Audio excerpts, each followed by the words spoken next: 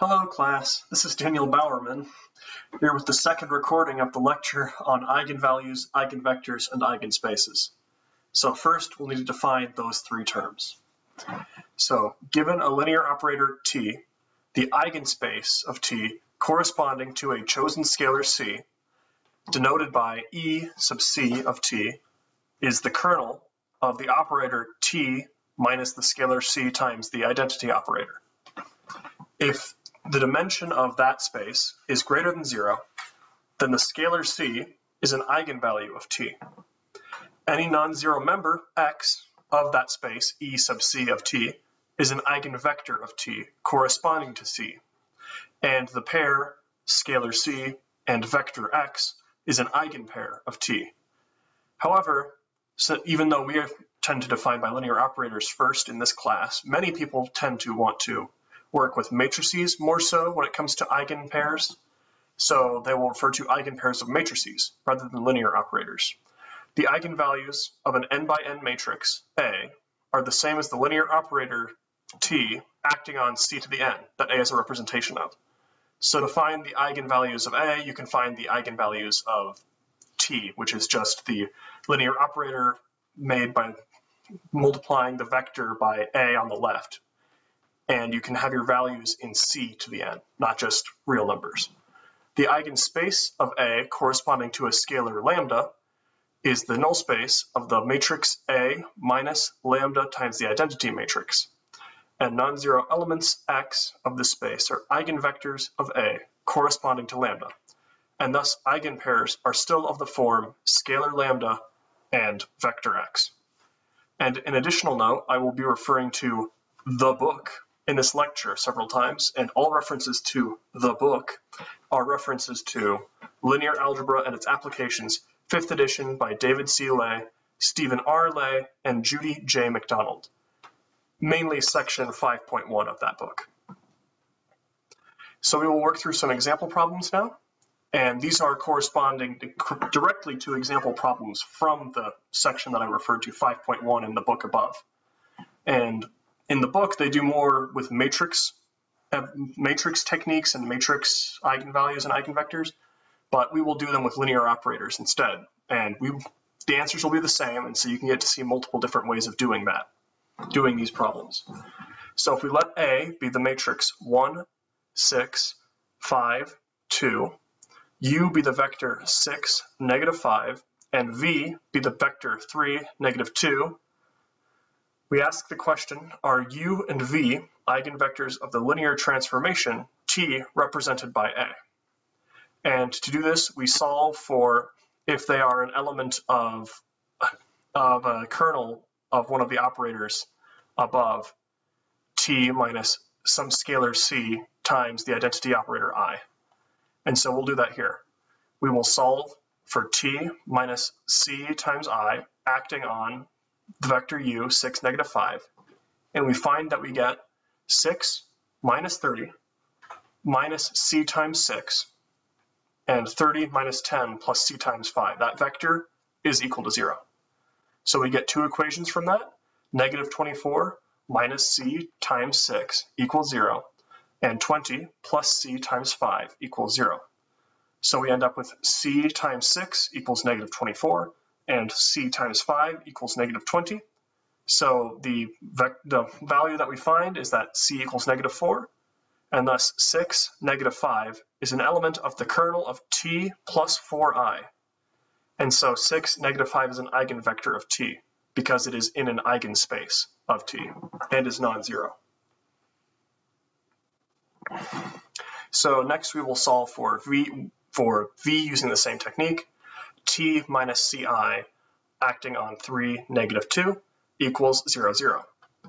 So we have two equations, 3 minus 12 minus c times 3 equals 0, and 15 minus 4 plus c times 2 equals 0. So solving those quickly, we see that c has to be negative 3 and c has to be negative 11 halves. So there is no c that follows that allows both of these equations to be true and thus there is no C that allows for this top equation to be true. So 3, negative 2 is an element of kernel T minus Ci, never. and thus 3, negative 2 is not an eigenvector of t. Uh, example 3 is also from the book and is similar in a way. We, sh we show that 7 is an eigenvalue of t from example 2. So t is represented by a, and thus it is also an eigenvalue of a. In example 2, and find the corresponding eigenvectors. So first, using linear operators, we just solve t minus 7i of x uh, acting on x1, x2 equals 0, 0, because that will mean that x1, x2 is in the kernel of this operator here. And we find that x1 plus 6x2 minus 7x1 equals 0, and 5x1 plus 2x2 minus 7x2 equals 0. So we end up, these two equations give us 6x2 equals 6x1, and 5x1 equals 5x2. So we have two essentially redundant equations. So x1 and x2 are in the kernel of the operator t minus 7i, if and only if x1 equals x2, and since we can find an example vector 1, 1 in the kernel that is non-zero, the dimension of the kernel of t minus 7i is greater than 0, and thus 7 is an eigenvalue of t, and thus of a as well. And so example 4, which is also from five, section 5.1 of the book, uh, we will do this with both linear operator and matrix methods just to show how you can get the same result from either way and the different techniques that you could do.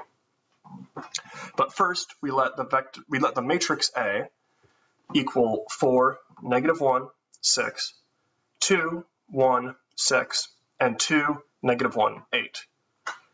An eigenvalue of A, and thus of the linear operator T represented by A, is 2 find bases of the corresponding eigenspaces of both the linear operator T and the matrix A, and we'll do it with both methods. So first we're looking for elements of the kernel of T minus 2i. So T minus 2i acting on x1, x2, and x3 equals 0, 0, 0 implies three separate equations. 4x1 minus x2 plus 6x3 minus 2x1 equals 0. 2x1 plus x2 plus 6x3 minus 2x2 equals 0, and 2x1 minus x2 plus 8x3 minus 2x3 equals 0. So when you actually calculate that out, it turns out that two of these are redundant equations because they all end up simplifying to 2x1 minus x2 plus 6x3 equals 0. And thus we have two free variables and one that will be defined by our choices of those two free variables. So we can choose x1 and x3 to be free, mainly because I don't want to work with fractions. And we can define x2 to be equal to 2x1 plus 6x3.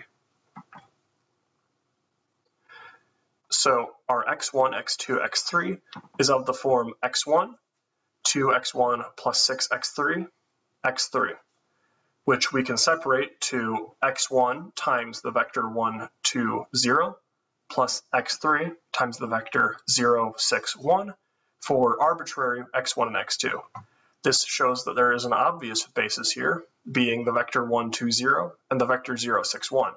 So a basis for that eigenspace, of the, which is the kernel, t minus 2i, is 1, 2, 0 and 0, 6, 1. So the linear operator t acting on the vector x1, x2, x3 is equivalent to multiplying x1, x2, x3 by A on the left. So we can find a basis for the eigenspace of the matrix directly, as the eigenspace of A is the null space of A minus 2i, which is a matrix, which is the null space of 4, negative 1, 6, 2, 1, 6, 2, negative 1, 8, minus 2, 0, 0, 0, 2, 0, 0, 0, 2, which is just 2 times the identity matrix, which is equal to the null space of 2, negative 1, 6, 2, negative 1, 6, 2, negative 1, 6. So we can simply find a basis for this space. So we row reduce the new matrix A minus 2i, and we thought by subtracting the first row from rows 2 and 3, and then dividing the first row by 2, we find that we have our matrix 1, negative 1 half, and 3, and then two rows of zeros. So we have only one equation to look at from here. We have x1 minus 1 half x2 plus 3x3 equals 0. So we can choose x2 and x3 to be free, and we find that x1 equals 1 half x2 plus 3x, or sorry, minus 3x3. So all elements of the null space of A minus 2i are of the form 1 half x2 minus 3x3, x2, x3, which we can separate like we did above to find that we have an obvious basis of 1 half 1, 0, and negative 3, 0, 1, and they're multiplied by arbitrary, arbitrary variables. So we find that these two bases describe the same subspace because the eigenspace of the operator acting on C to the n and the eigenspace of the, of the matrix will be the same thing. And we see that because we get this first vector from this first vector just by multiplying this vector by 2. So 2 times 1 half 1, 0 equals 1, 2, 0. And 6 times 1 half 1, 0 plus negative 3, 0, 1 equals 0, 6, 1, which is this vector. So we can find these vectors from each other. And that will show that those two describe the same subspace. And now we'll be working on a theorem for like the next 10 minutes. So this one is a bit more, it's a bit of an interesting, in, interesting induction proof and it will be using a lot more matrix notation and matrix techniques than we've been doing in the class, mainly because this theorem deals with upper triangular and lower triangular matrices, which while they do correspond to linear operators, there's not a category of upper triangular linear operators that anyone really cares about. However, we'll just start by stating the theorem. Theorem 1 from section 5.1 of the book the eigenvalues of a triangular matrix, upper or lower, are the values of the entries on the main diagonal, which are simply the entries on the diagonal starting in the upper left and going to the bottom right. And since eigenvalues only make sense on square matrices, that diagonal will account for the whole length and height of that matrix. So proof, we will prove the result for upper triangular matrices with no repeated values in the main diagonal. And we prove the result for these cases because, well, for the no repeated values, we end up doing some division that would be very nasty if we had to. If we had uh, repeated values and we could end up dividing by zero. And there are ways around that. It's just even longer. And we don't need to take up that much time on this one proof. And the upper triangular is simply because you could do a lower triangular with a very, very similar argument. And doesn't really matter that much. It's just uh, people tend to do upper triangular as the default triangular matrix. But you could do something like prove this thing, prove using a similar technique to how we did here. You could prove it for lower triangular matrices with no repeated values if you want to. No one probably will, but okay.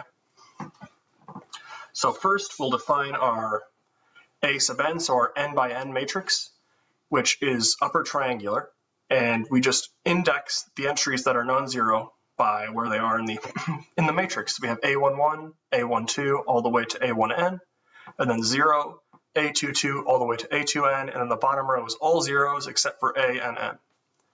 And then we start our induction proof. We have the k equals 1 case, so we let A sub 1 equal the matrix that is a single element, A11. So for any 1 by 1 vector, this is not absolute value of x the vector x equals the vector of just x. a1 times the vector x is just a11 times the vector of x, so we can combine those to get the vector of just a11x, which is just equal to the scalar a11 times the vector of x, which is equal to the to a11 times the vector x. So a11 is the only eigenvalue of a1. So for our inductive argument, which takes up the majority of this proof, we have we can assume that the result holds for all n minus 1 by n minus 1 upper triangular matrices with no repeated values. And we don't need anything smaller than n minus 1 by n minus 1, so it's not a fully, completely inductive proof. But we take the upper left n minus 1 by n minus 1 submatrix of A sub n. So we're cutting out this row, sorry, this column and this row and we're just leaving this, which is also upper triangular.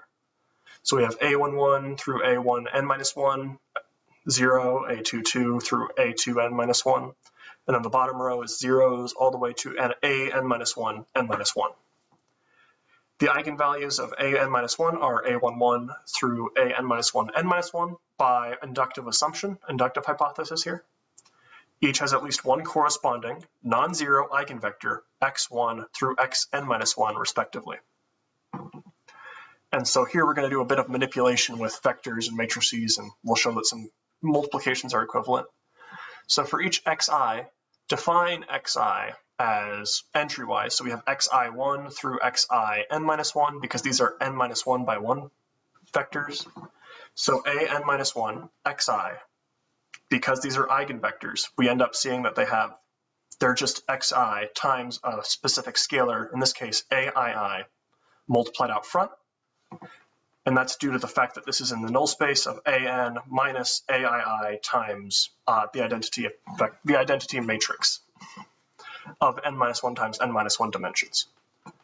So define xi0 as xi with an extra 0 at the bottom. And that makes it an n, n by 1 vector, so we can multiply it on the right of an. And doing so, we see that this 0 will cancel out everything in this column here. So it doesn't come into effect.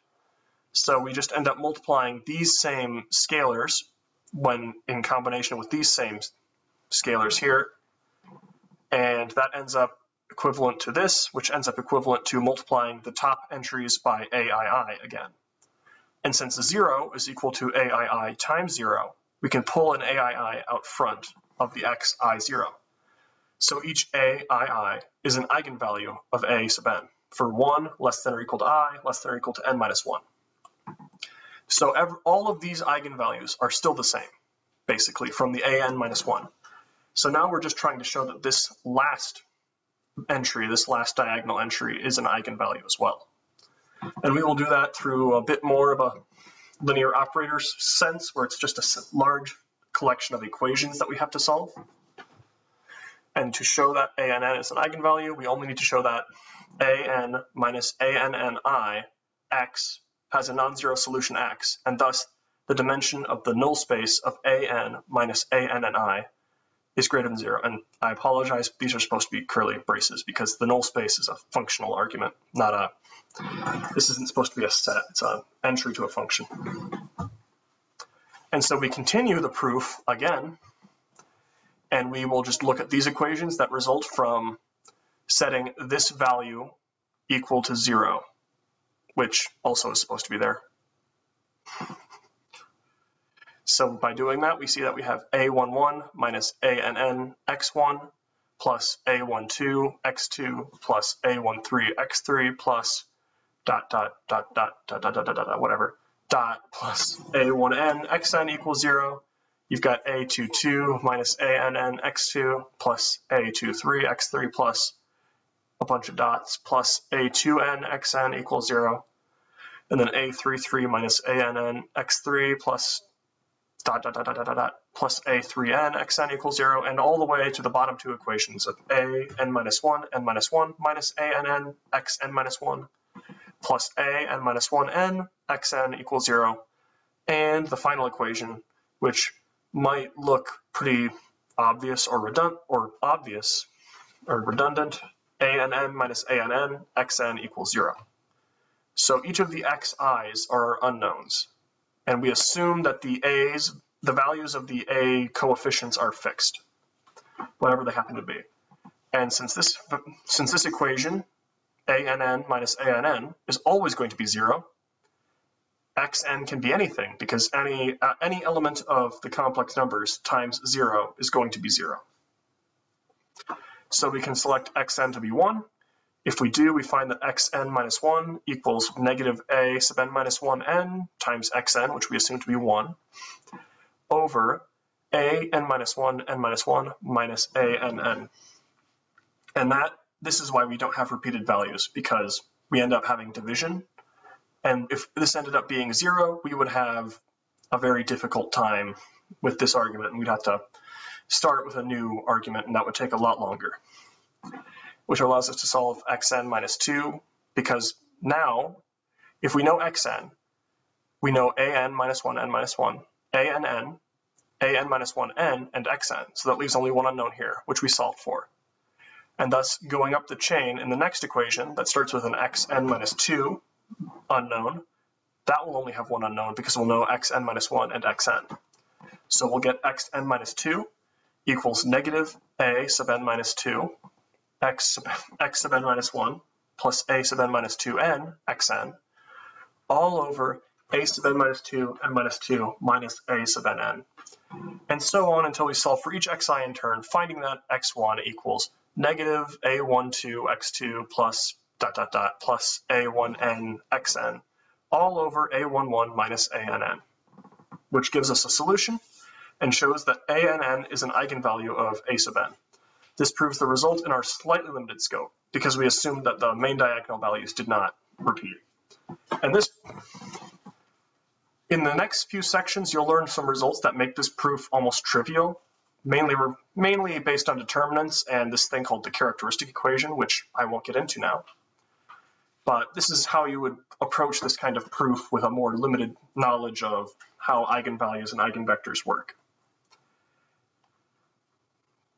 And then there's the second theorem, which we won't prove because the book provides a very nice proof that you should read. And the, the statement of theorem two is if v1, v2 through vr are eigenvectors, that correspond to distinct eigenvalues lambda 1 through lambda r of a linear operator t from Rn to Rn, then the set of the eigenvectors v1 through vr is linearly independent. And that's all I have for today. Thanks for watching.